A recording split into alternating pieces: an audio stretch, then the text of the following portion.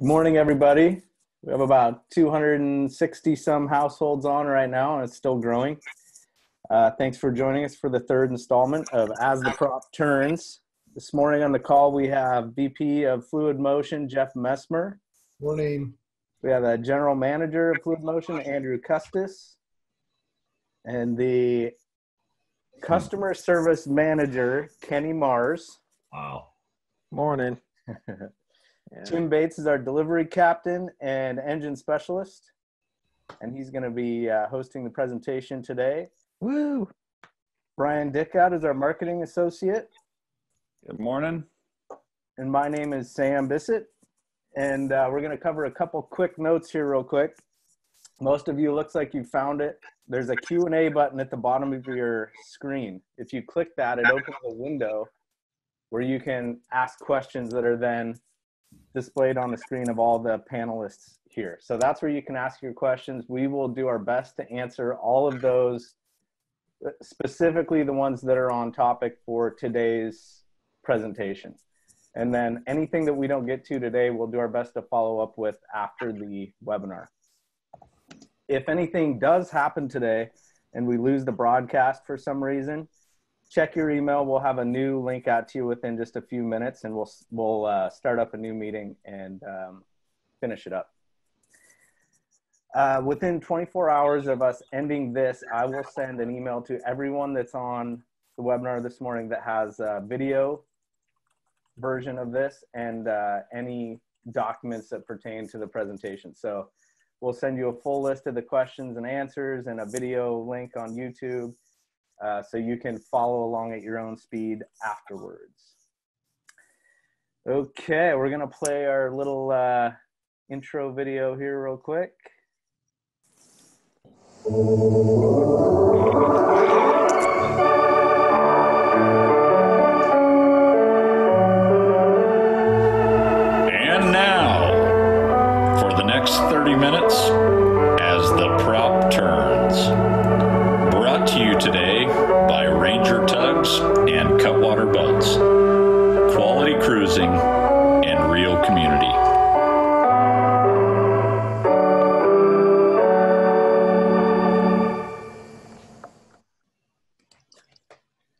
What's a weekly podcast without a recurring theme? Okay, I'm gonna get out of the way and introduce Tim Bates one more time. He's gonna host our presentation this morning. So Tim, go ahead and take it away. All right.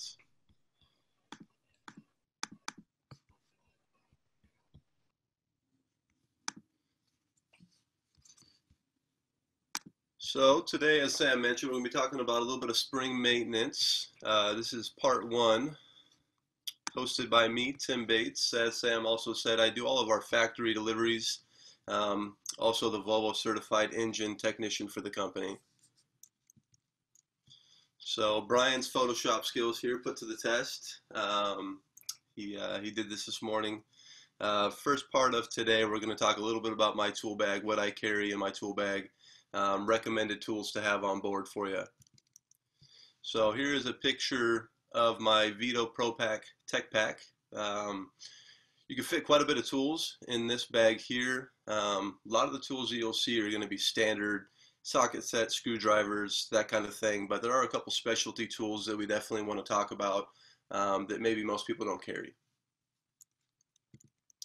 So here is every tool I carry in my bag. Uh, believe it or not, I was able to fit all of those tools in that bag I just showed you.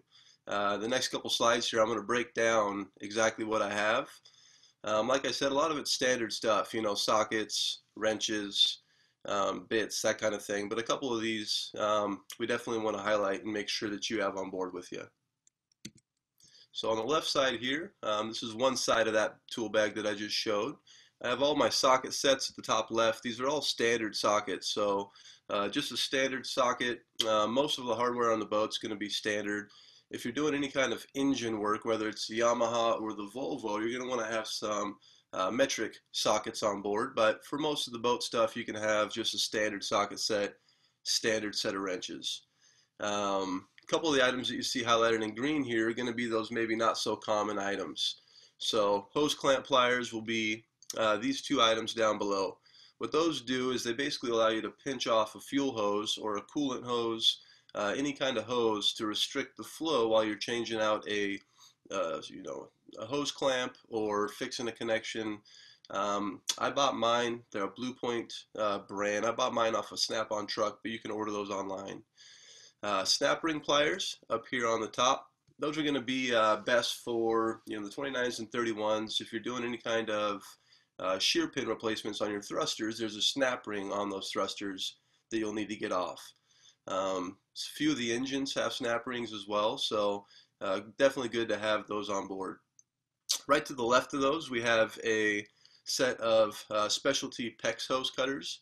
If you're doing any kind of water filter installations or um, need to cut any PEX hose, these will actually cut that hose without crimping or deforming the hose. So uh, another one you can source online, um, definitely good to have in the bag.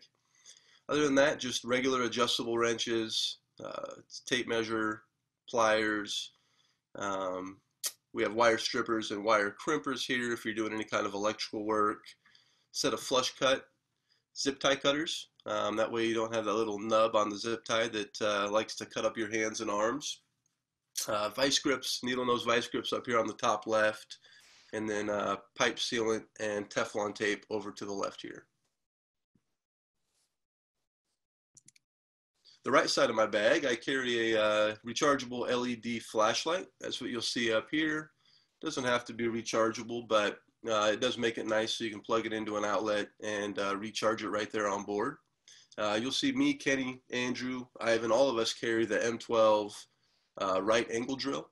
That will accept any kind of drill bit, um, you know, standard bit, anything that you need to do to get into tight spaces. It's a really nice drill to have on board.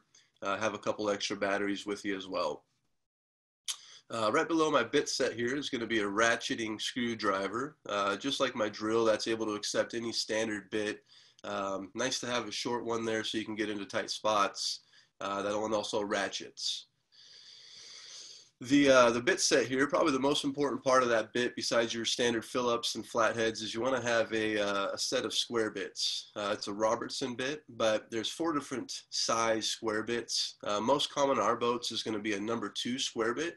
Almost all of our hardware is going to be that same style square bit head screw or fastener. Um, but there's a number zero, number one, number two, and number three um, size for those square heads. So if you're taking panels off the boat or doing any kind of work on the boat, uh, you definitely want to have those square bits on board. Um, over here I have a number two, just standard square bit screwdriver.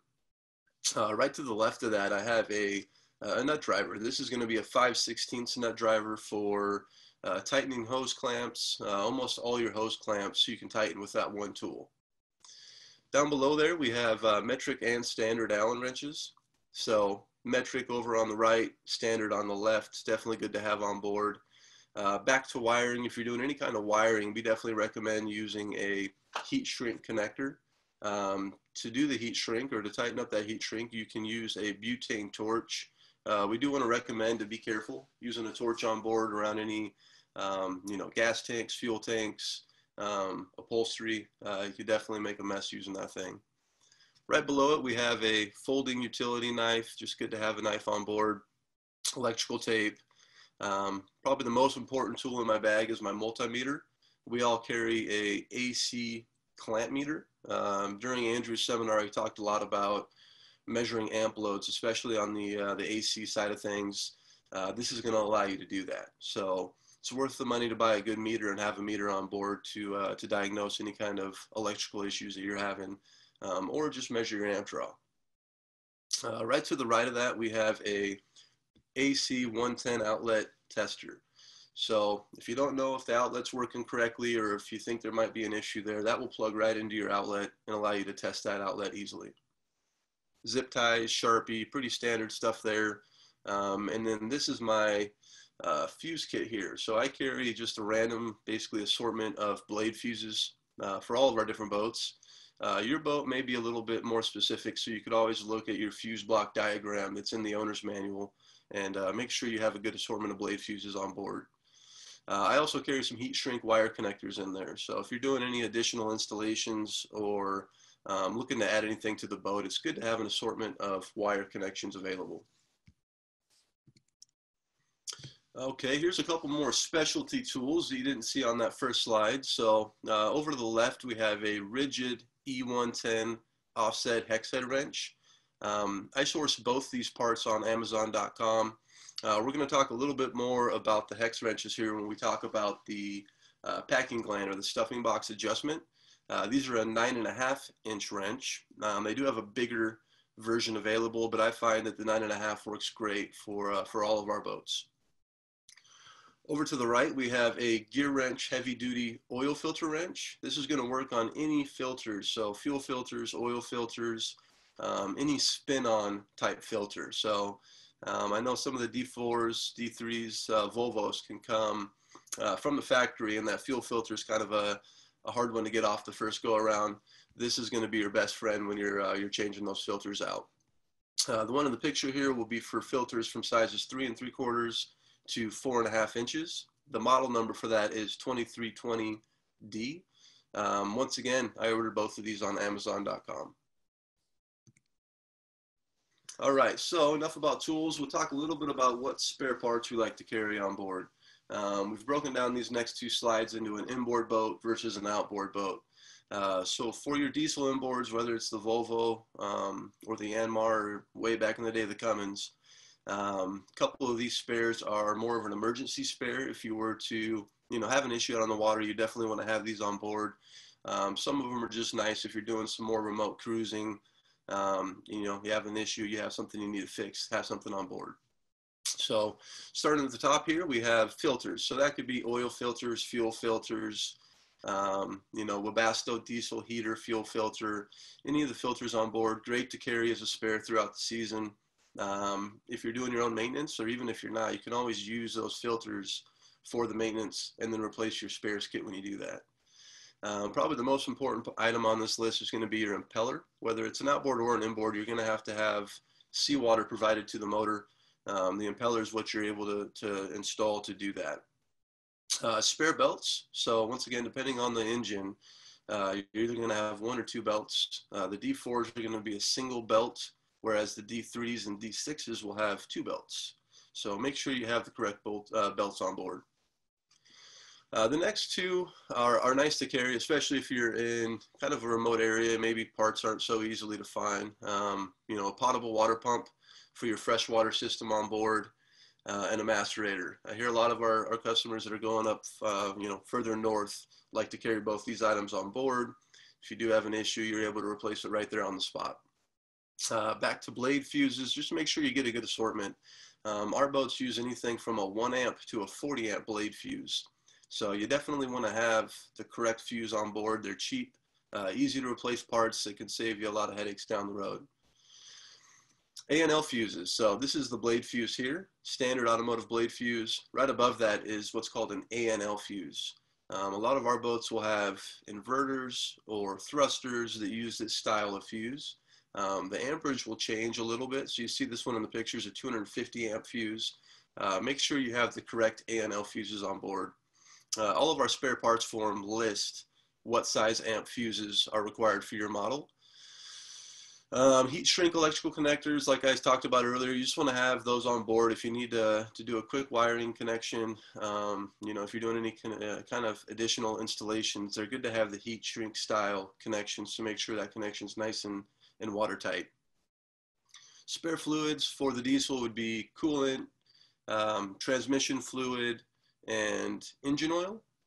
Um, so definitely have those on board, at least a quart of, uh, of each of the, the engine oil and the transmission fluid and a gallon of the coolant. Uh, bilge pump with float. So make sure you're getting the correct bilge pump for your boat. We do stock these in our parts department as well. Um, you know, it's another cheap, easy to easy to replace part that's good to have on board should you have an issue with the one that you, ha you have on board. shower bilge and float. So that's going to be the shower uh, box basically on your boat. Um, you don't need to carry the entire box, but at least a float and the bilge pump that's inside the box. Down to the right here, we have a thruster shear pin. So from model to model, this will change a little bit as far as uh, which pin you need, but once again, that's on our spare parts form uh, for your model. And then I like to carry nav and anchor light bulbs. So a lot of the boats, these will be the exact same bulb. The nav light will be interchangeable with the anchor lights, um, another item on our spare parts form. So moving over to the outboards. Uh, for the outboards, it's a lot of the same items. So fuses, um, filters, a lot of those will be the same. Um, you know, fuel filters, oil filters for the, the outboard. Definitely want to have an impeller on, on board for that one as well. Um, for the outboards, there's an engine flush port on the side of the engine where you're able to hook up a garden hose and flush the salt water out of the motor. Um, we've had those come off when you're going to do the flush. You, know, you, you pull the gasket off and the gasket falls in the water. It's a good one to have on board, um, you know, in case you have that happen. Assortment of fuses. So this is a look at the inside of my fuse box. It has the assortment of fuses on the top here, and then a couple of the heat shrink connectors down here on the bottom. ANL fuse, this one happens to be for a uh, Ranger 23 thruster. Um, thruster shear pin down below, nav and anchor light replacements just like the inboard, water pump and macerator just like the inboard, additional fluids. The only difference there is you won't have coolant or transmission fluid with the outboard. Uh, you'll still want to carry a quart of oil and a, uh, quart of the lower unit fluid on board. Uh, bilge pump with float and the shower bilge and float as well. All right, so for our inboard boats, your boat has what's called a stuffing box or a packing gland. This is basically the uh, seal from where the shaft goes through the hole, um, and it's what keeps that water tight. So, you know, what is a stuffing box? The stuffing box houses uh, basically a packing material, uh, which is used to seal the, seal the shaft going through the hole. Um, it should be inspected and regularly tightened. So you always want to keep an eye on that and make sure that number one, you don't have an excessive drip. It's not dripping too, too frequently, but you also do, you do want to see a drip. Um, this should remain cool to the touch. So if it's overly tightened, um, you're probably too tight. If you're getting a, a lot of water in the bilge, you probably need to tighten it up. So this goes back to those Ridgid E110 offset, offset hex head wrenches that we talked about earlier, uh, the nine and a half version. Uh, these two wrenches are what's going to allow you to tighten up that stuffing box. So on this slide, we talk about how to adjust. So with one wrench, you'd want to hold the stuffing box, uh, which is the first one here. The stuffing box is the larger of the two, basically the, the adjustment nut. Um, and then you want to loosen the locking nut, which is the back one here. So if you turn the locking nut towards the back of the boat, while holding the adjustment nut here, that'll basically free these two from each other. Uh, with the locking nut loosened, you want to tighten or loosen that stuffing box until you achieve the right drip rate. So what you're looking for is a drip every 15 to 20 seconds uh, while the engine is running and in idle gear. Uh, with the engine turned off, you shouldn't have a constant drip. If you're seeing uh, a drip every 15 to 20 seconds with the engine not running, you probably need to tighten a little bit. Uh, to monitor the drip rate, you definitely want to have the shaft turning. So either do it at the dock with line secure. Um, you know, I usually will go into forward idle and have somebody on the outside of the boat uh, holding onto a bow rail. Make sure that the boat's going to rest nicely up against the side of the dock. Um, you know, lines are tight. Um, the other option would be underway. So if you're out away from the marina in an open area, calm water, you could always go into forward idle. Uh, make sure you have somebody on lookout watching off the front of the boat. Um, once you have those, you know, adjusted properly, you can use a penetrating oil. You'll see on the picture here, uh, we have a little bit of kind of that bluish green look to this one. When they're new, they have a, a nice bronze, uh, brass look to them. Over time, as it gets salt water down there, you'll see that happen a little bit. Uh, it's purely cosmetic. It doesn't hurt the stuffing box at all. Um, but if you wanted to keep it clean, you could always hit it with a, a brass wire brush use a little bit of penetrating oil and a corrosion spray on it. Penetrating oil will also help loosen these nuts up. So if they're really tight, you can always spray those down with some penetrating oil before you go to adjust. So over on the right here, we have a picture of how to adjust. So if you're loosening the backing nut here, you just want to hold the adjustment nut in place while you turn the locking nut down to the right. This is facing, the right would be facing the aft side of the boat. The engine would be over here on the left. So in this next clip, we have a little video of uh, why you definitely want to make sure that your lines are tight. Um, I think this guy was trying to adjust his packing uh, there in the marina.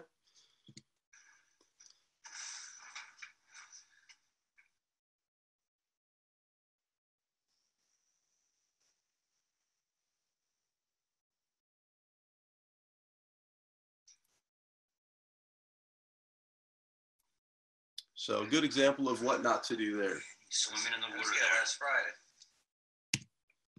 All right, so if uh, we just talked about loosening, so to tighten or loosen, and once you actually have the, the backing nut, you know, backed away from the adjustment nut, at this point you're either going to tighten to get less of a drip or loosen to get more of a drip. Uh, on the left here, you have a picture of how to tighten.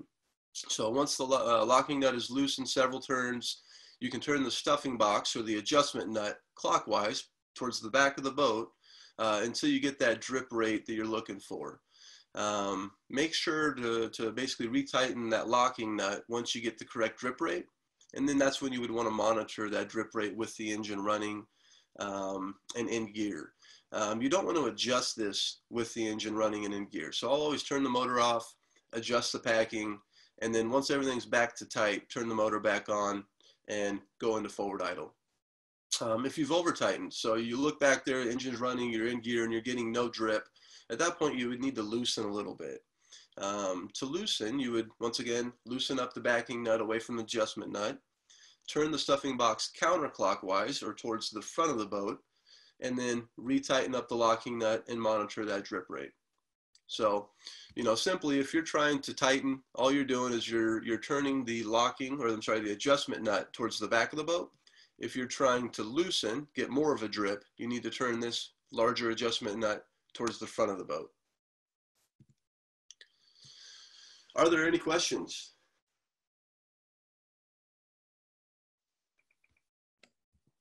Just working on my uh, video. Oh my. There we go. I- Are I, we live? that was great, Tim. Who, uh, Yeah. that? that uh, we do we do have a, a few questions. is your heater not working, Brian? Yeah, yeah. The weather kind of took a turn for the worse there. Is that Parka Uh, that's uh, all right. So Tim, down there? there's a couple uh, couple questions. Okay. Are there are there any Imperial hex Allen key nuts on the Volvo? Uh, they'll all be metric. So everything on the Volvo, whether it's uh, a standard bolt or a, you know a hex head bolt, you're going to always have a uh, a metric tool that you'll need for the Volvo and the Yamaha. Okay, and then um, got another one. Should should they carry a torque wrench for replacing a spare belt on a D4 300 Volvo? Yeah, so the, the torque wrench that I use is a, a half inch torque wrench. So they have different size torque wrenches, anywhere from quarter inch to half inch. Um, but for the belt tensioner on the D4s, there's a there's a spot that you can install that half inch torque wrench, and you're going to torque that belt to 52 foot pounds. Um, the D4s and D6s are a um, you know a self basically torquing belt, so you have to you have to tension the belt yourself. Whereas the D3s have a belt tensioner uh, built in with the engine. Perfect. So we kind of left engine maintenance out of this seminar. This is more of an all-around boat. We do we do touch in on uh, different engine-related items, but um, we didn't go real deep on some of those. If you're doing an engine maintenance, then I would absolutely have a torque wrench on board. Okay. And then uh, there's quite a few questions just about part numbers, where to get the spare parts, and I think for everybody there, the the uh, most most important is we do put uh, all of our spare parts forms of what we offer, and those will be expanded, but those are on the uh, tugnuts.com website. So under the uh, forum index, uh, I think I have to post them under the Ranger Tug Factory technical bulletins. Uh, but you'll be able to see part numbers and um, forms there. And our parts department is open and uh, we are doing shipping every uh, Friday. So if anybody wants to get uh, orders submitted, you're welcome to do that. Yeah, Um, for parts, it's just parts at rangertugs.com. Uh, Richard's able to ship just about anything that we stock nationwide. So, uh, other than fluids, which I think you can't ship engine coolant and oil, uh, anything else you see on that spare parts form, he's able to ship to you. Okay, perfect. And then there's one more, Tim, that you, we have one from Scott. He says his stuffing box doesn't look like that. And I'm guessing he's got a uh, Cutwater 30 with an inboard. Can you just, since we didn't capture any pictures of what that one is, can you uh, maybe go into that one just a little bit? Yeah, that one is quite a bit different. There's um, there's a couple bolts that you need to loosen up first, um, and that one will allow you to adjust similar to the one that we just saw. But there will be a couple extra steps there where you have to loosen up the bolts on the packing uh, before you're able to adjust. Perfect. All right. I think we're. Uh, The we're other, good. uh, Andrew, one of the customers said that they uh, aren't very mechanical and what parts should they carry.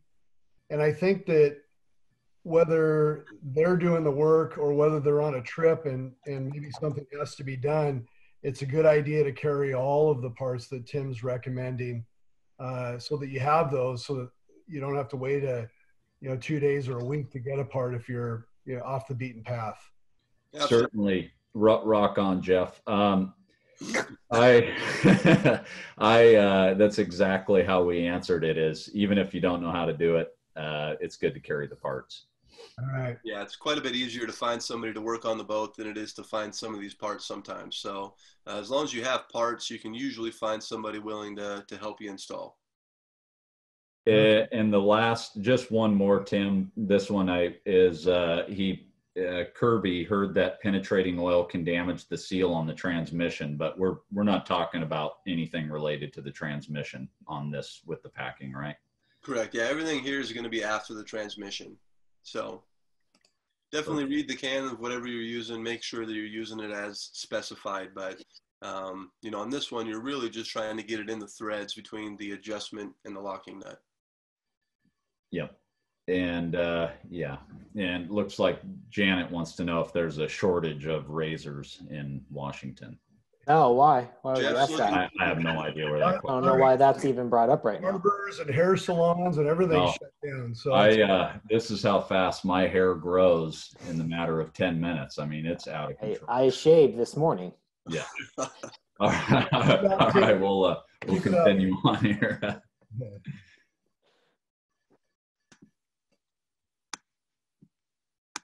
All right, so moving on here. Next, we're going to talk a little bit about bilge pumps, uh, maintenance and operation. So depending on the year of your boat, there's going to be a couple different style pumps uh, that we've installed over the years. Anything newer from, I think, 2017 and on is going to be the Rule bilge pump you see here at the top right. Um, they're a little bit different as far as operation and how they work compared to some of the older style bilge pumps. Um, anything previous to 2017, we used a separate float and a Johnson bilge pump. It would look, um, has a, a basically a red base and a black cap. Um, that style bilge pump had a separate float that had two sensors on the front of the float here. Uh, probably the most important part of those is keeping this sensor face clean. Uh, if you get any oil or any debris on the front of that sensor, it can cause the pump to turn on um, and think that there's water in the bilge when there's not. So common maintenance on the older style pumps is to get down there, wipe off the face of the sensor, um, make sure that you're keeping it clean down there, um, you know, free of any oil, that kind of thing. Uh, to test the float on this style, all you would do is you would cover this circle here and this, this circle here with your fingers, and that would replicate water being over that float. Uh, the newer style pumps don't have any separate floats, so they're a sensor built inside of the pump, and every two and a half minutes, that pump's going to spin and look for any water in the bilge. If it senses any resistance, it's going to turn the pump on until all the water's gone. Um, so every two and a half minutes, you'll hear that thing buzz looking for water. Um, it's about a one second burst. Uh, to make sure that that's working correctly, you can easily just go back to your engine room or your center cockpit hatch and listen for that sound. Um, also, your switches on your dash will light up every time uh, that that burst occurs. So if it's rainy, if it's nasty outside, you don't want to go out and listen for it, you can always watch the manual switch and it will light up as you hear that burst.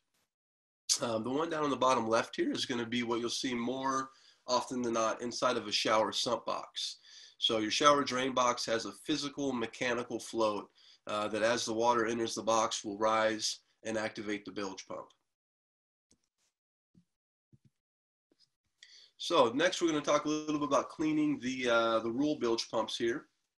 Uh, to remove this pump, uh, you can easily do so by removing the hose first. You don't need to pull any hose clamps or remove the physical hose from this fitting. All you'll do is you'll loosen up the fitting on the pump there and remove the entire assembly away from the pump. Uh, once that's unscrewed, you can press these two blue buttons down here and one on the opposite side, and this pump will lift straight up out of the basket. So uh, we always recommend to pull the fuse for the float. Anytime you're working on the bilge pump, especially if you're going to have your fingers or any kind of tools in the bottom of the pump here, you want to remove the fuse for that bilge. That way uh, it doesn't do that two and a half minute sense looking for water while you have your fingers in there. Um, depending on your boat, that fuse will be in a couple different locations, but that fuse is wired directly to the batteries. So even if all your house switches are off, um, you know, even if the, the bilge pump switches are off, uh, regardless, that thing is always going to be on uh, looking for water. Uh, once the pump's out, you want to inspect the bottom of that pump um, as well as the basket. So pull the pump out of the basket, look down inside of the bottom of the basket here, make sure you don't have any debris in the base, but also make sure you don't have any debris in the bottom of the pump. If you do, definitely make sure that that fuse is out of there so it doesn't do that automatic sense and clean out the pump. So down here we have just another, you know, important reminder, uh, remove the bilge pump fuse when cleaning, uh, and then also make sure to reinstall the fuse after you're done. So all of our bilge pumps have that automatic feature, whether it's the separate float that has the two circles on it or the automatic two and a half minute sense, those are always going to be wired directly to the batteries um, to make sure that you, if, you know, if you get water in the bilge, it's going to pump it out even if you're not on board. Um, and then all of, our, all of our boats also have a manual switch to turn on the bilge. So this picture happens to be a uh, R31. It's a little bit different than some of your boats, but um, this bilge pump one and two here, here, this will physically turn your pump on. So if that float were to burn out or if you were to have an issue with the fuse for the float, if the automatic feature isn't working on the bilge pump, uh, these switches will allow you to physically turn on the pump and evacuate water from the bilge. Um, a lot of the new 23s, 25s, 27s, um, I think even the new 29, all those will have this switch up on your dash. And they will be labeled bilge pump one and two, uh, but all that is is basically a bypass to the float to physically turn the pump on in the event that the float's not working. Um, so for uh, operation here to verify proper automatic operation, all you're doing is you're listening for that one second burst every two and a half minutes. Uh, like I said earlier, you can also watch this LED. Even with this switch off, uh, when the when the bilge pump senses water, you'll see this light light up for a brief second while it's doing that. Uh, on the you know the 23s and 25s where the switch is up on the dash, you'll see the same thing. It'll it'll light up momentarily while the pump is looking for water. Um, so if that breaker or if that switch is on, like I said, that'll physically turn the pump on you definitely want to leave these switches in the off position. Otherwise, you'll burn up that pump.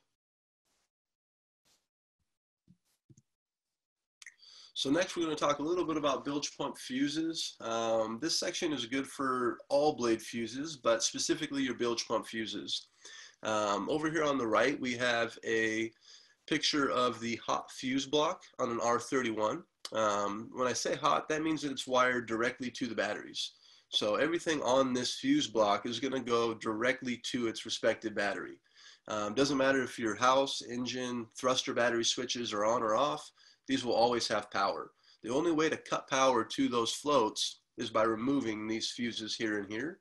So if you were cleaning, you would want to pull these seven and a half amp fuses out of there to make sure that that automatic feature isn't still uh, looking for water. So checking fuses to verify that your fuses are not the source of a problem, uh, you can either use a multimeter to check continuity.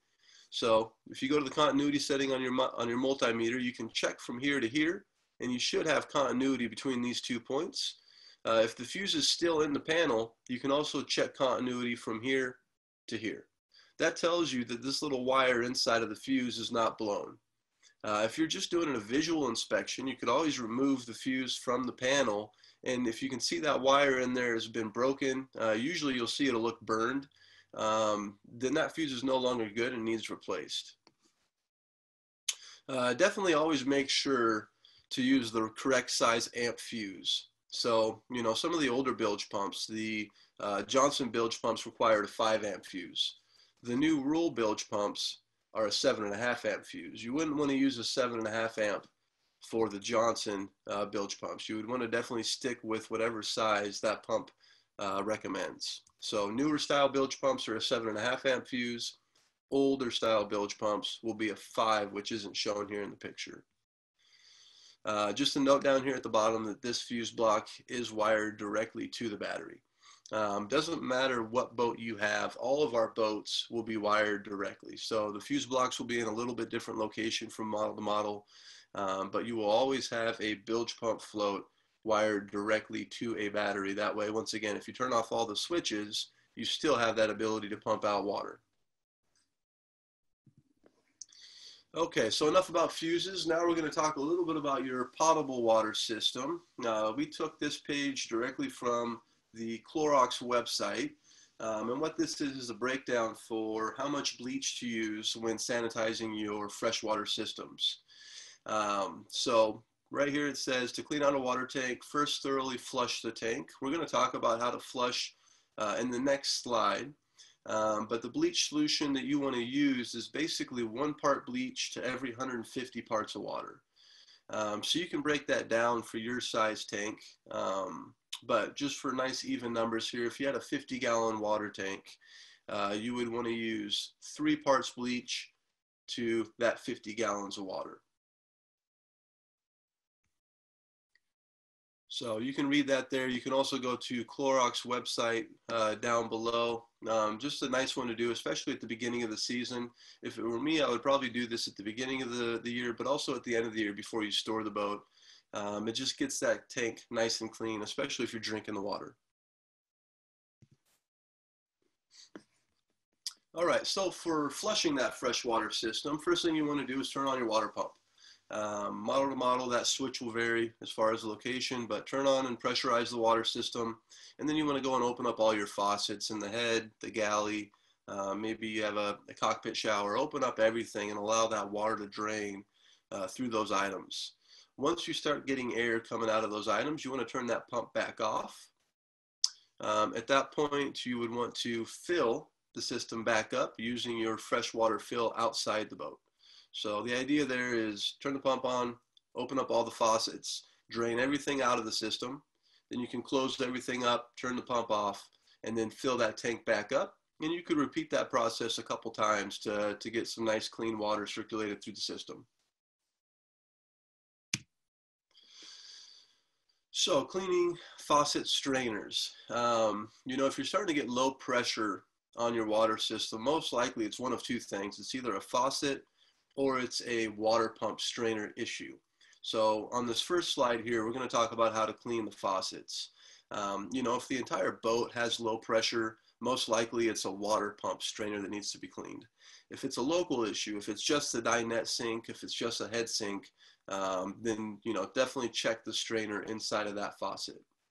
So over time, a little bit of debris can collect inside of that strainer. Um, to clean that strainer, you would basically uh, remove the strainer from the faucet itself. Uh, definitely be careful to lose any small parts by covering the drain with a cloth. Um, you could also put your sink stoppers that come with the boat down in here. Um, last thing you want to do is drop a screw and, and have it go overboard. Um, all of our boats don't have gray water tanks, so anything that goes down the sink goes directly over the side of the boat. Um, first step is to unscrew the retaining nut, which is this nut right here that holds the strainer in place. Uh, we're using a 7 8 inch wrench here to do that. You could also use an adjustable wrench or, or, or a crescent wrench, but we find that a 7 8 makes it uh, a little bit easier. So the next step here is to remove the strainer. Uh, once again, going back to covering this little uh, drain here, you don't want to lose the spring down the drain or of course the strainer. So, um, you know, have something in that drain to make sure you, you keep everything on board.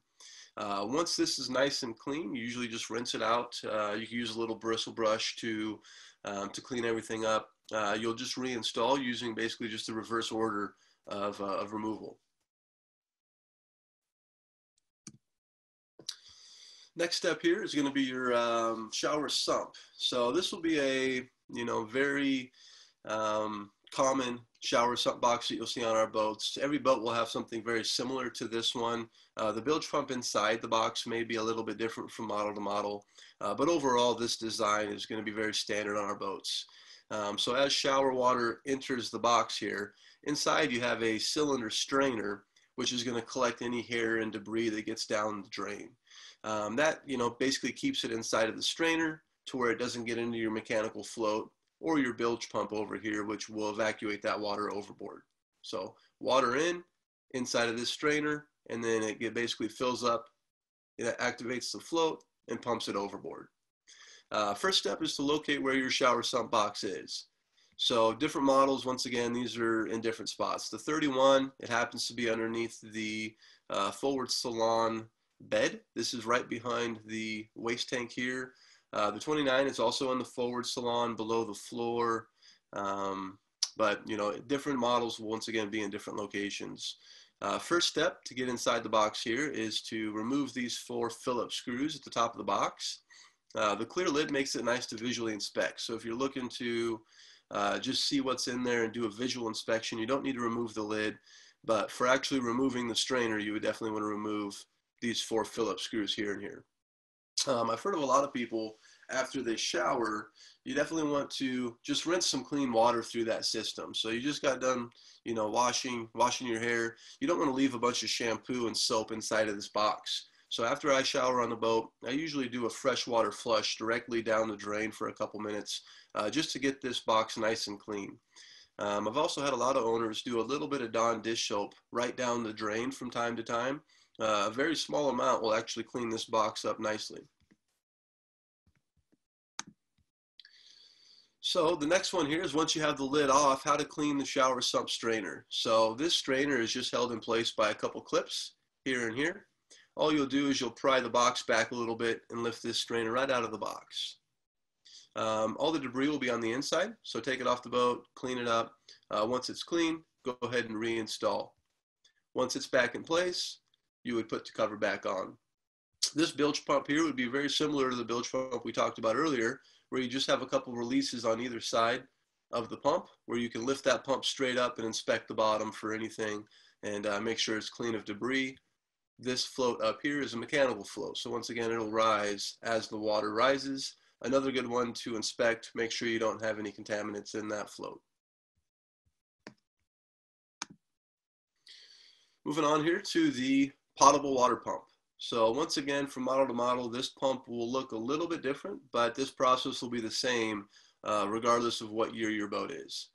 So very first step here to remove this strainer in order to clean it is to slide the blue retainer tab on the strainer housing. So that's going to be basically in two spots. You'll have one right here, which is hidden by the strainer in this picture. It's back here. And then also this hose is held to the strainer with that same clip. So you'll have two of these clips that you'll need to remove in order to pull that strainer off of the pump. Um, so it doesn't really matter which order you do that. On this model, uh, Andrew said that this hose was a little bit shorter. So he removed the retainer clip for this one first, and then he was able to remove the hose from the strainer. Once that was off, he pulled this clip away from the pump and was able to pull the entire assembly away from the pump.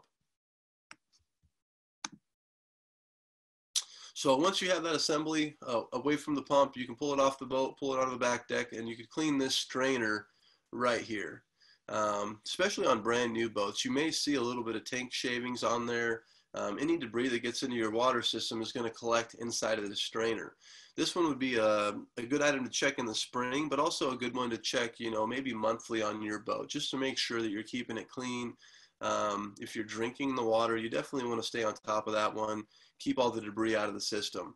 So once the clear plastic cap is unscrewed from the base, you can remove this strainer from the body and that one will uh, be another one. You just go rinse it off, use a, a, fine bristle brush to clean off any contaminants from the strainer.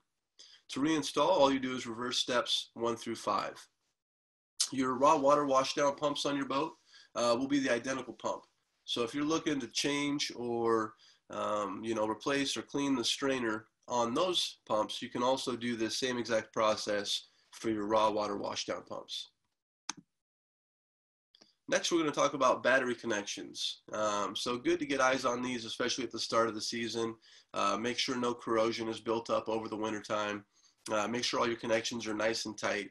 I would say, um, you know, 90% of the issues that we talk about on a daily basis are loose connections. So uh, get on those batteries, make sure all the, uh, the hardware is tight. You're not seeing a lot of corrosion on top of the batteries themselves. Uh, so first step there is to turn off the battery switches. Make sure we don't have power going to any of our devices basically. Um, second step is to get on top of the batteries and check all of the battery terminals and bus bars. So once again, this is on a 31. Uh, these batteries are down in the cockpit lockers. And right behind the starboard bank of batteries, you have a bus bar. Um, on that one, all we're doing is we're going through and making sure that all eight of these nuts are nice and tight and that we don't see any corrosion there. Um, when you're testing or when you're tightening these connections, always make sure not to, you know, touch the positive and negative terminals to each other. Um, you know, I usually use a little stubby uh, wrench. That way I'm not in risk of touching those terminals to each other. Far as cleaning, if you do see some corrosion on those connections, um, you want to clean them up as soon as possible uh, to prevent any further corrosion. So to do that, uh, you can see that uh, we were using a battery cleaner solution in this bottom left picture and a wire brush. Um, you just want to spray basically the bus bar or the battery connections. Uh, using your brush, you can knock any of that corrosion off. Make sure those stay nice and clean. Um, they'll last a lot longer that way. After they're nice and clean, you can use a corrosion inhibitor to protect those contacts. There's lots of different brands out there, um, but just make sure you're using one that is safe for battery connections. Are there any questions?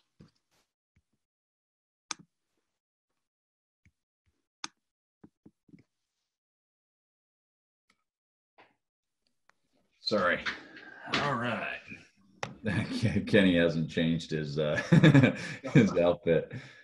Are we changing? no. I was just gonna Uh, wear this the rest of the day. Tim, here's a here's a good one from uh, Captain Block. We we talked a little bit about it, but he um, wants to know if there's a, a a way to quiet down the potable water pump.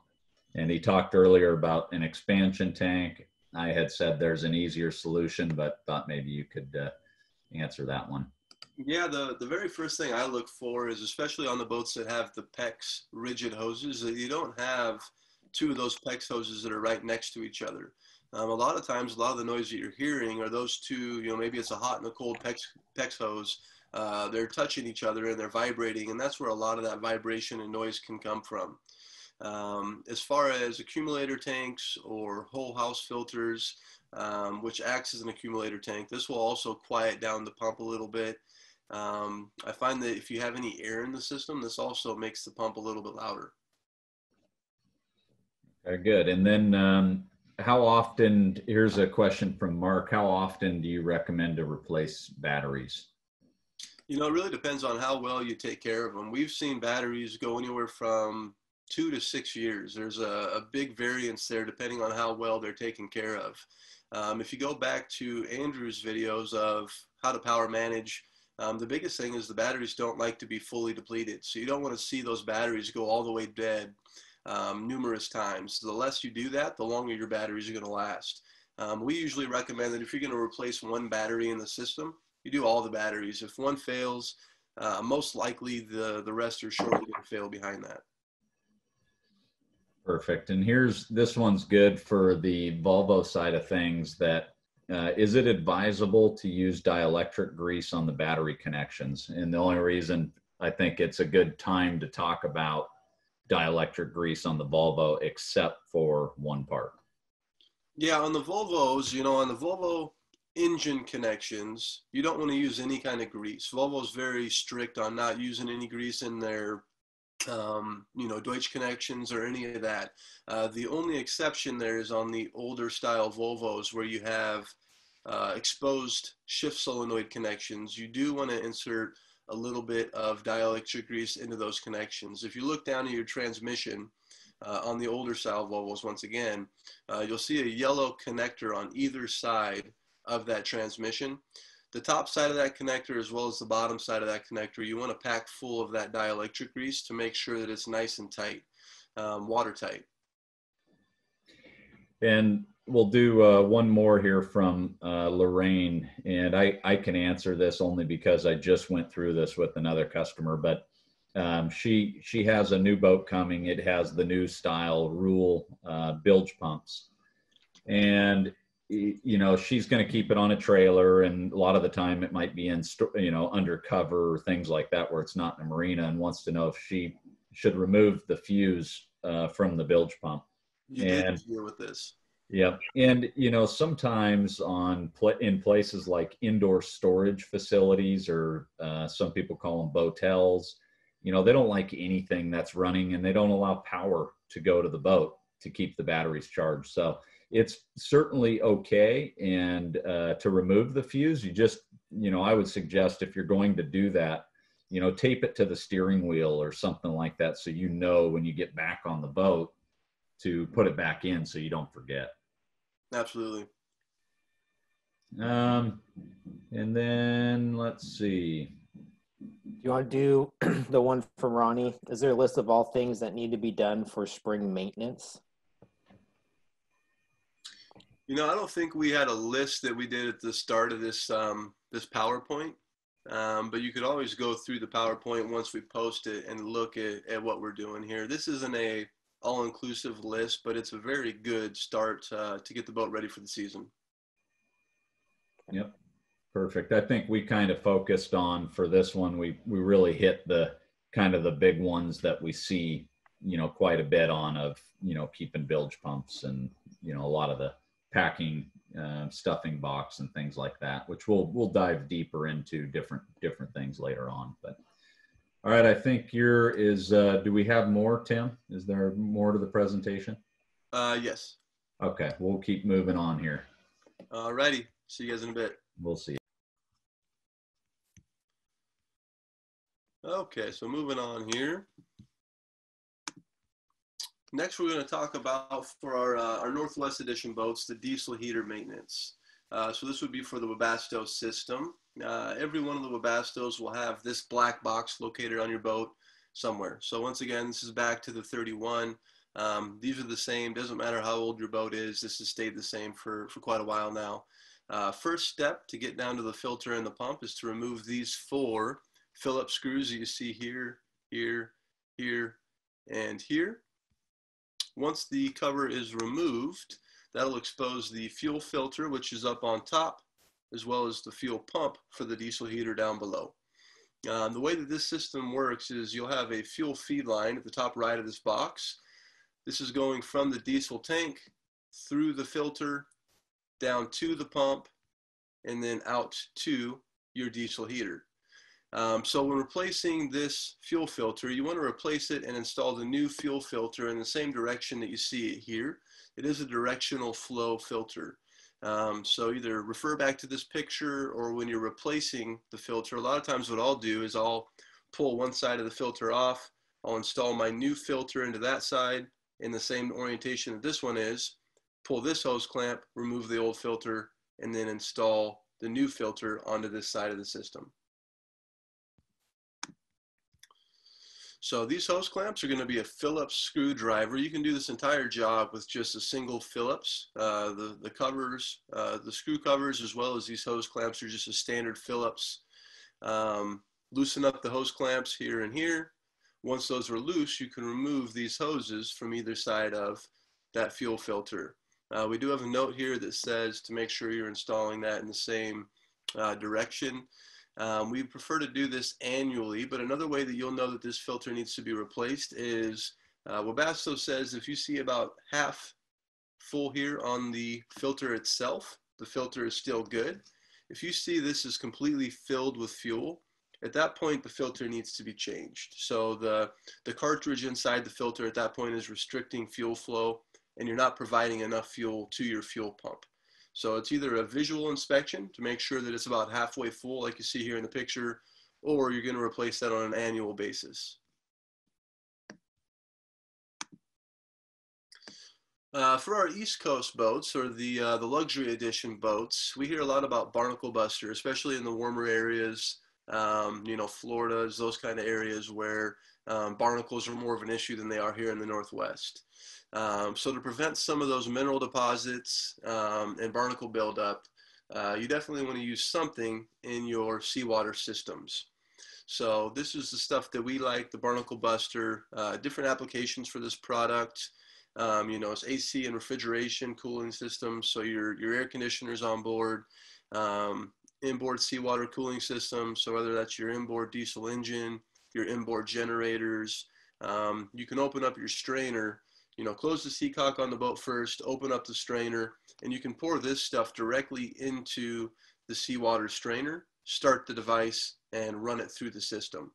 Uh, for our outboard boats, if you were looking to use this, you can either, with the boat out of the water, um, use the earmuffs that go down the drive, or you can do a five gallon bucket, pour this stuff in the bucket, and use a submersible pump to pump fluid through the engine through the uh, saltwater flush.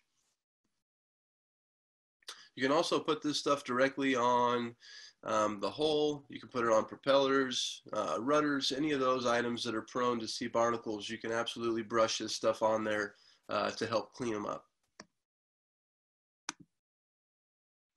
So over time, sea life and other mineral deposits can build up, um, you know, especially at the seawater line is where we see it the most.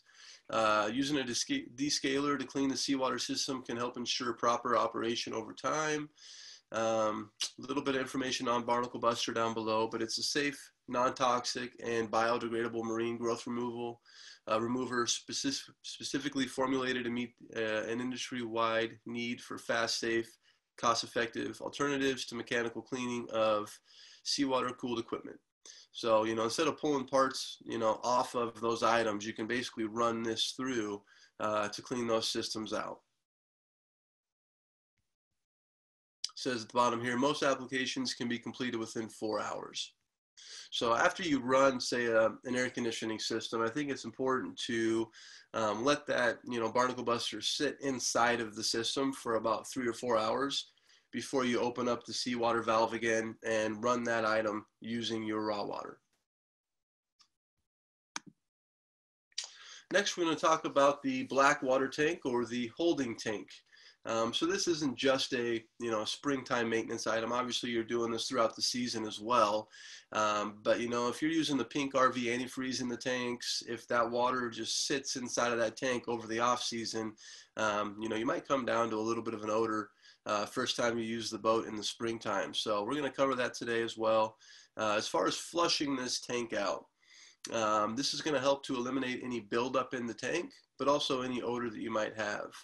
Uh, so the very first step here is to empty that holding tank. So to empty, uh, make sure the Y, if, if your boat has a Y valve. So a lot of our 25 classics, 27 classics, um, they have a Y valve back in your engine room that's right in front of the black water tank. Uh, that Y valve is going to basically allow you to either do a dockside pump out or a macerator overboard discharge. Um, I think all of our newer models, most, yeah, all of the new models will not have that Y valve. So there won't be any valves that you need to open to pump out on your, you know, newer Ranger tug or Cutwater. Um, but make sure if you do have a Y valve on board that it's in the correct position for pump out. Uh, a little quote from Andrew here. Uh, whatever two arrows are showing is the direction it's going.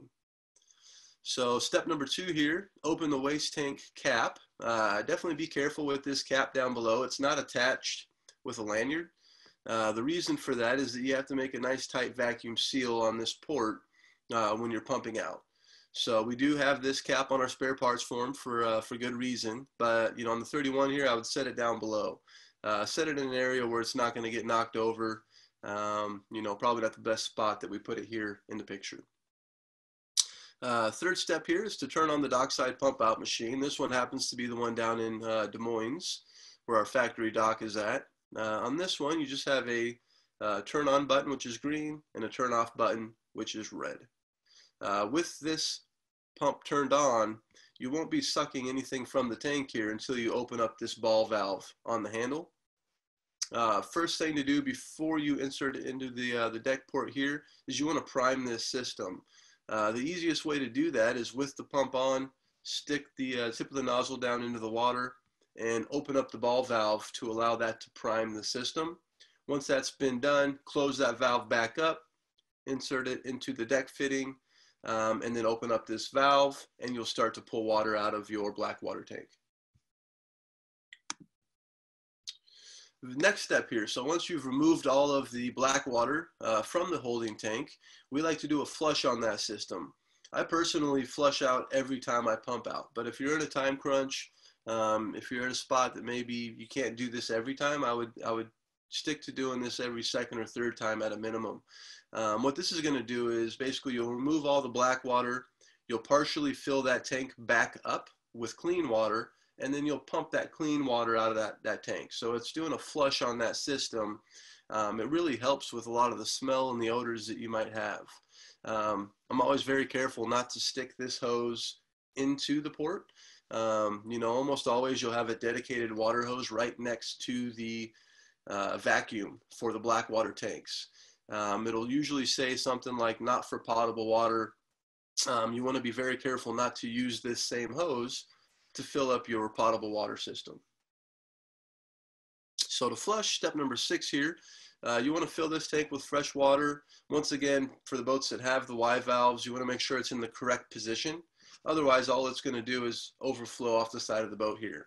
Another one to be careful of is you don't want to overfill that tank. So you don't want to have that, you know, filling for so long that you either have black water coming back up out of the port here or through the side of the boat where the vent's located. Um, and then you'll just repeat that pump out procedures one through three. So fill the boat up with, you know, depending on your tank size, a half a tank, um, pump that out. And then after that, you'll want to reinstall the waste tank cap. Uh, we don't have it on the slide here, but there is also a way to uh, flush your vent. So if you've done this process and you're still getting a little bit of odor from the system, it could be that um, maybe at one point your tank overfilled and you started to have black water come out of the vent. Uh, the vents on our boats will always be very close to where the fill's at. So on the 31, for instance, you could almost see it down here below the rail. Um, waste here, vent down below on the side of the hole.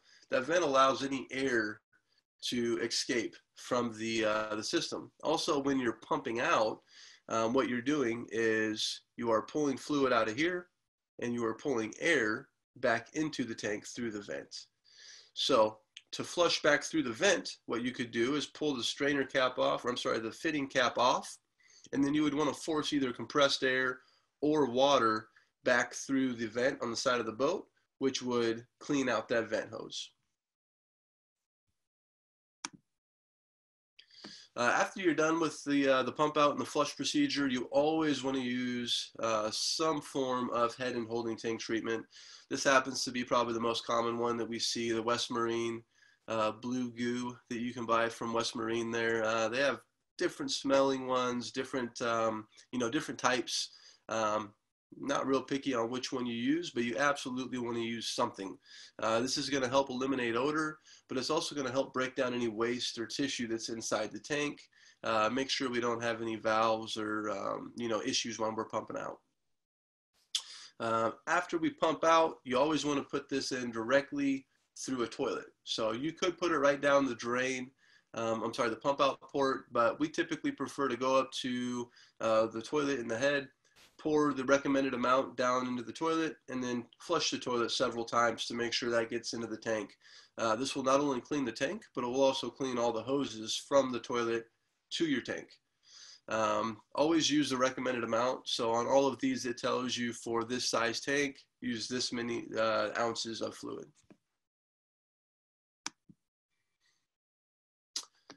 Next, we're going to talk about uh, fuel stabilizers. Uh, first one here is for our diesel inboard boats. Um, diesel stabilizers can prevent any problems caused by bad fuel. Um, so this is one that you definitely want to use before winter storage, but maybe you forgot to do it this year. Um, it's not a bad idea to add a little bit here in the springtime as well. Uh, most additives can increase performance, help cold starts, and increase fuel efficiency. Uh, Volvo does not have a fuel additive that they you know sell, but the one that they recommend is the Stanadyne product, uh, specifically the diesel fuel additive that you see here in the picture. Uh, for very cold climates, using a winter formula can help uh, that diesel fuel from gelling. Here in the Northwest, we don't have that issue, but uh, for some of your colder climate areas, um, I know you guys experience that a little bit more. Um, you'll definitely want to use something there in the wintertime uh, to, to prevent that fuel from gelling.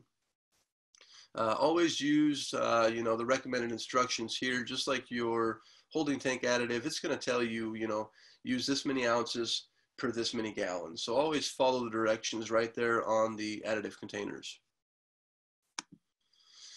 For gasoline powered engines, um, this one happens to be the Yamalube. I know the Suzuki boats have their own additives as well. It doesn't have to be the Yamaha brand. Uh, this just happens to be the, the, one that we stock and sell in our parts department.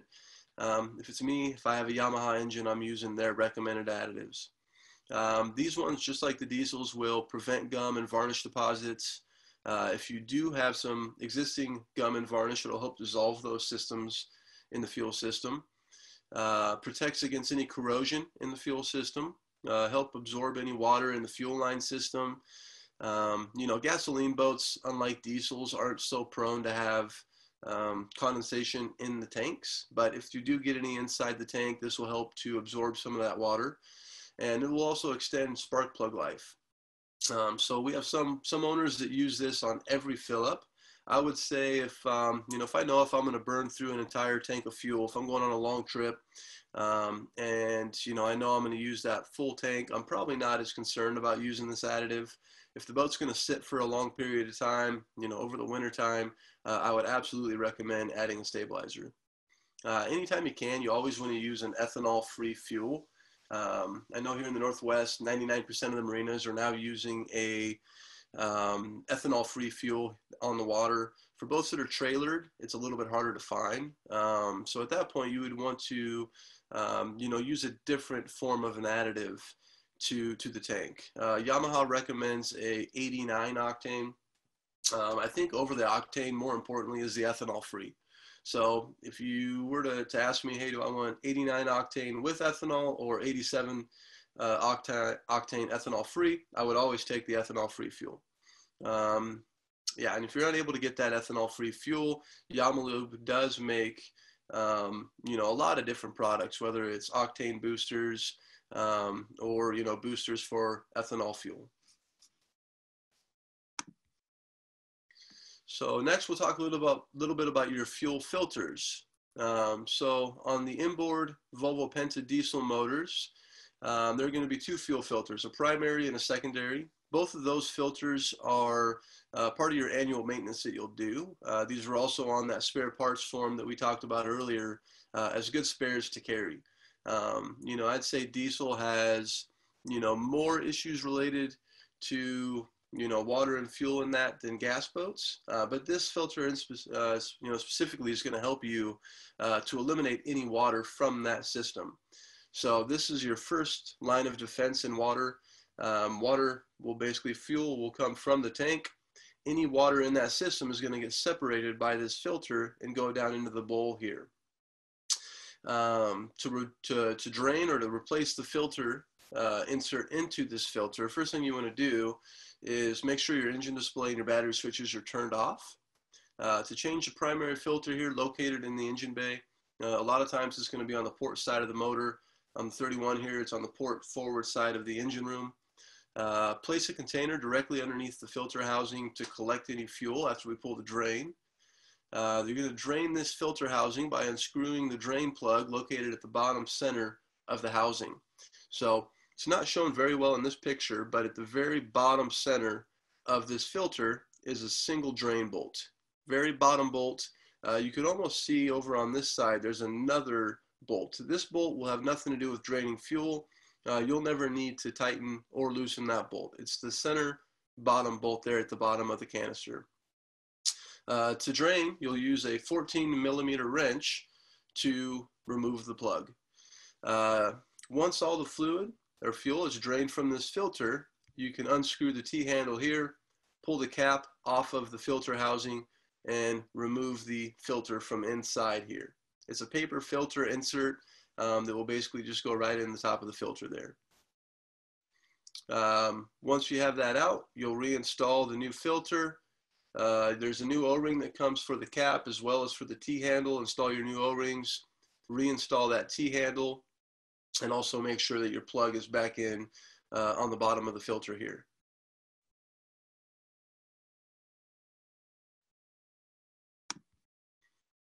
To change the secondary filter. So over to our right of here is where our primary was. Uh, this is the on the engine filter. This is a secondary fuel filter. Uh, happens to be on a brand new motor. So Volvo paints the engine. In this case, the uh, the secondary filter got painted green, the same color as uh, as the motor there. Uh, to change this filter, first thing to do is find it. Um, usually easy to find with the primer bulb right on top of the filter here. Uh, first step here is once you found it is you want to disconnect the water and fuel sensor connection. Uh, that water and fuel sensor is right at the bottom center of this filter, right on the bottom here. Um, second step, once you have that connection removed from the filter housing, is you're going to spin off this filter very similar to like an oil filter on your car. Um, you can use that same wrench that I used or, or showed earlier that I bought from Amazon. Uh, it just makes it a lot easier to get this filter off of the housing. Um, down below is a better picture of that water and fuel sensor. So to remove the sensor itself, all you'll do is you'll twist this to the left. I usually wait until I've spun the filter off. That way I don't lose all my fluid over the side of the engine there. Uh, to remove the connection here, which is step two, all you need to do is press in the spring clip here. So you can see it's on the right side of this connection. You will press in the spring clip and pull straight down. That will remove the connector from the sensor. Uh, at this point, you won't have any fuel draining from that uh, fuel filter. All you've done is you've removed the wire. So when you go to spin off the filter, it doesn't twist the wire. So remove the, uh, the filter itself, pull it out of the engine room there. Um, I usually just turn the filter upside down and, and empty it into a container. Um, once that's empty, you can then unscrew the water and fuel sensor, which is this item right here. Uh, be very careful with this sensor. It is plastic threads.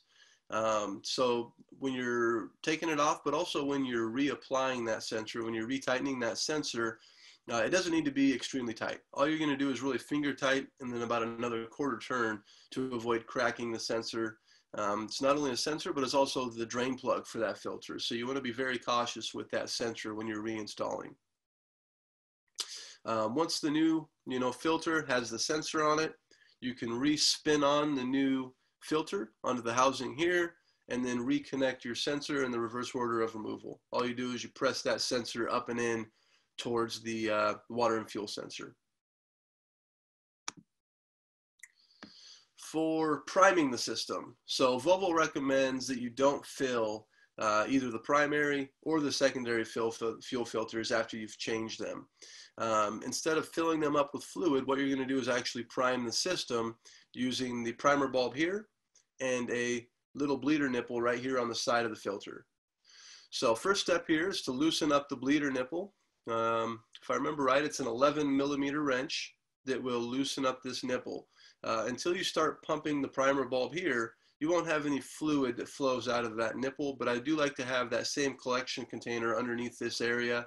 Um, you could even put a small rubber hose on here that leads down to a collection container to avoid, you know, spraying fuel all over the side of the boat here.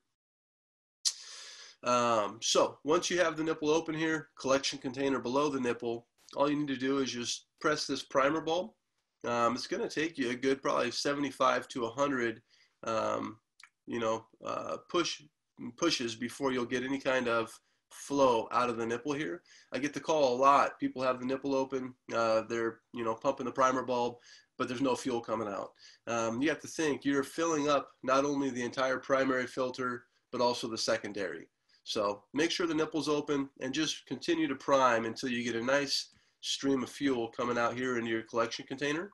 At that point, you're going to retighten the nipple, and then you want to continue to prime until you feel the primer bulb pressurize. It'll be about another 10 or 15 um, presses until you'll feel that pressurize. At that point, both filters are filled back up and your system is repressurized. So back to our gasoline filters. Um, this is going to be for the Yamaha. Um, this is one that is located in the center cockpit hatch. Um, you know, just like the outboard, the inboard, you're going to have a primary and a secondary. Um, secondary is on the engine. Primary is inside of the engine room or your center hatch. Um, this one happens to be on a 27 over on the port side bulkhead. Uh, so for replacing fuel filters on an outboard, there are two filters to change. The primary, which is shown in the picture here, um, and a secondary. So the primary here is due every 50 hours or annually. The secondary, which looks like my picture hasn't uh, shown up here. Uh, the secondary fuel filter, which is on the engine, uh, is one that you want to change annually. I have a picture of the secondary in the next slide here, so you'll get a better look of, uh, of what that looks like. Um, both of these filters are on an annual interval, but also on an hour interval. So this one you may replace in the middle of the season, depending on how much you're using the boat. Um, but I would stick to that every 50 hours on this one or the annual. Uh, if you don't hit those hours, then you're sticking to that every 12 months. To change the primary filter, you first have to locate it in the center hatch. Uh, that same filter wrench that I showed in the beginning slides, you can use to unscrew the primary fuel filter. Um, this one's not in such a compact area like our inboard boats, so a regular strap wrench works pretty well on this one, but um, you know, if you have the strap wrench that I showed in the first couple slides, it's gonna make it a lot easier for you.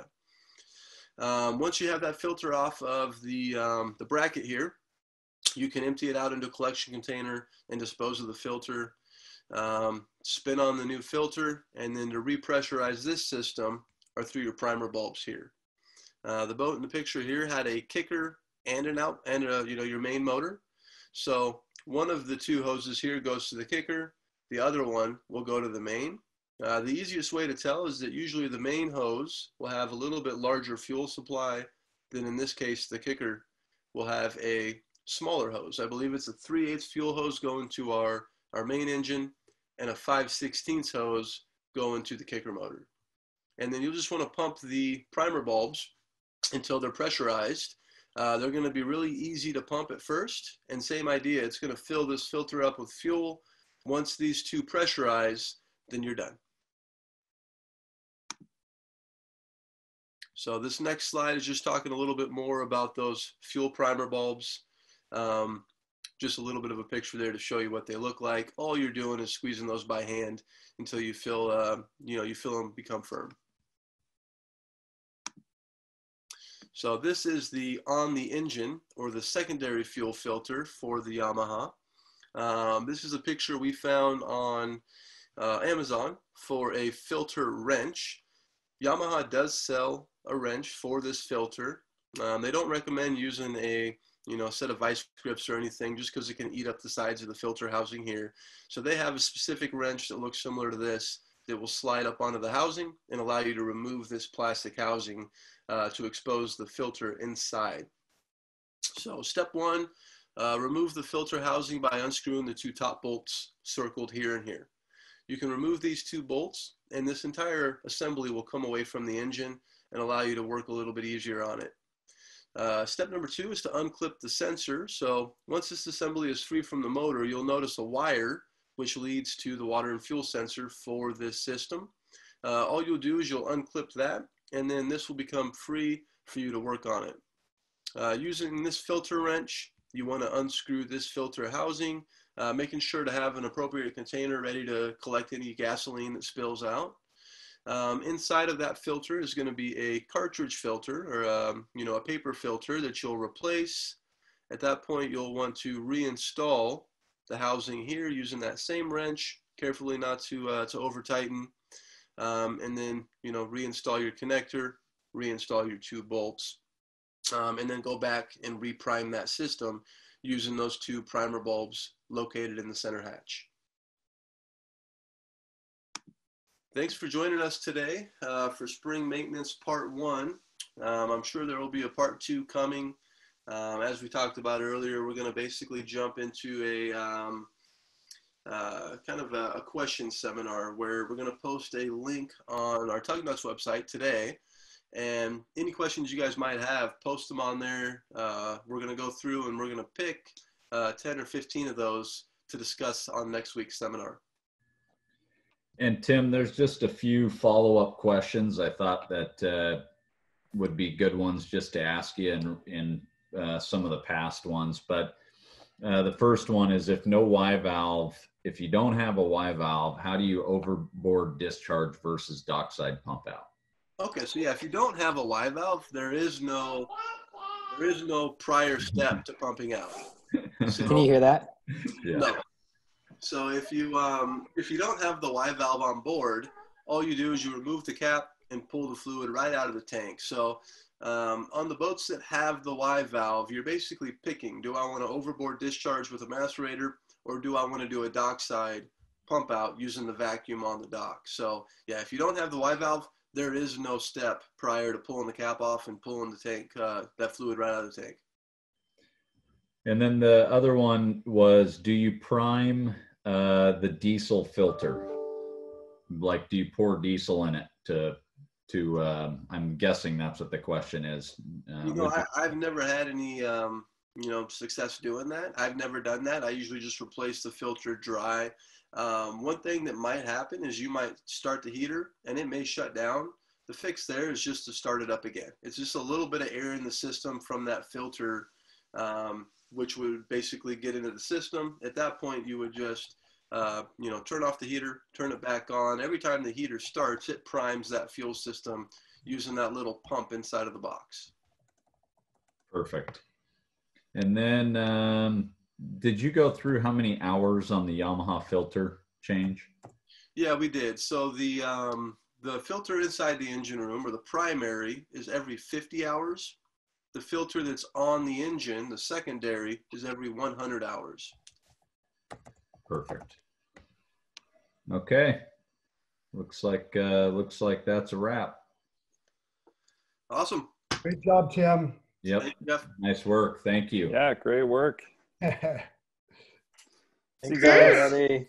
All right. We'll see, you, uh, we'll see you next week. Okay. Bye. Bye. Join it in.